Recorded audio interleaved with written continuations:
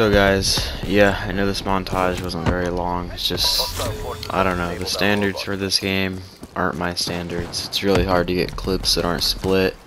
A lot of the people are using split clips, but I just, I don't think that's really my style. I don't think split clips are good.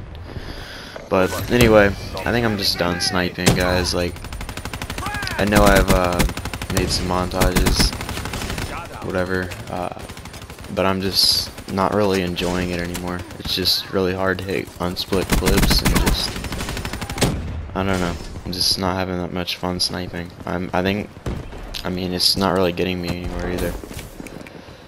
I don't really have anyone that I play with that snipes and it's just yeah, I don't know.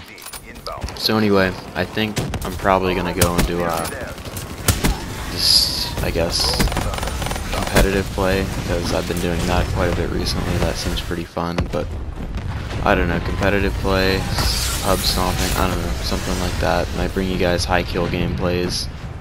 But yeah, I guess unless I get something that you know like unless something happens, something changes, I think I'm really gonna be like done sniping.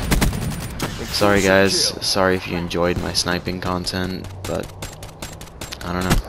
I guess I'll talk to you guys later. Deuces.